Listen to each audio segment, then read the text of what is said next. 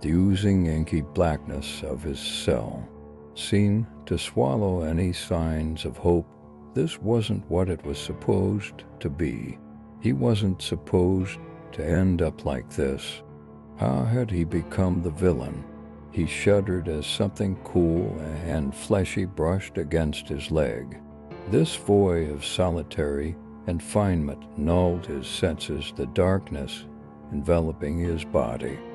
The day his mother left was a sunny spring day, the breeze happily rustling the green trees. He remembers it vividly, the scenery not matching the tone of their bleak household.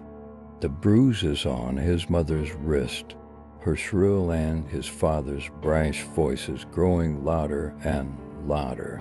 He remembers the slamming of a door, the rumbling of a car's engine. Then she was gone. The clicking of an officer's steel toed shoes pierced the silence of his reflection. The footsteps paused, but didn't come closer. The soft whispers of a cold, dead breath upon his neck made his hair stand on end. It was slowly getting closer. He wished he could find the strength to scream. A cold, hard rush of static screamed through his thoughts, numbing his mind and his body. An icy, bony hand grasped his cheek, slowly trailing its way down to his arm.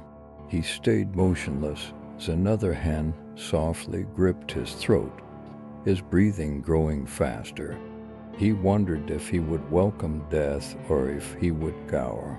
Like a dog flinching at the harsh tone of his master, he wondered if he could go to heaven. He wondered if there was a heaven.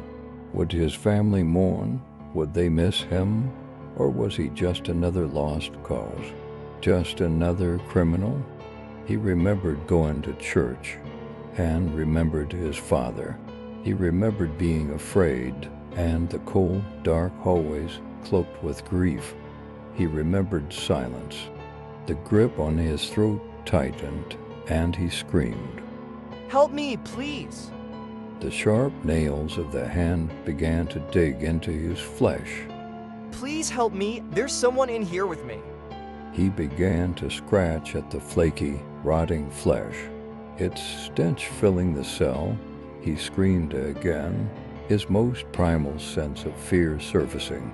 Trying to keep him afloat, the darkness seemed more hostile now, malevolent. It was all around him now, within him, beside him, behind him.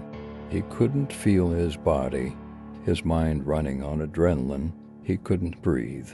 Both hands now enclosed around his frail neck.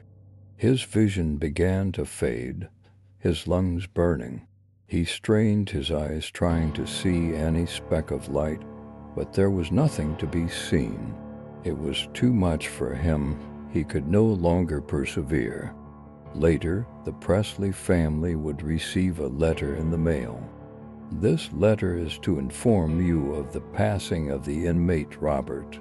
Presley, the cause of death has been ruled a suicide by strangulation due to his history of mental illness and the bruising and scratches on his arms and throat. It is believed that after a panic attack, he strangled himself within his cell in solitary confinement. No funeral or memorial was held in his honor.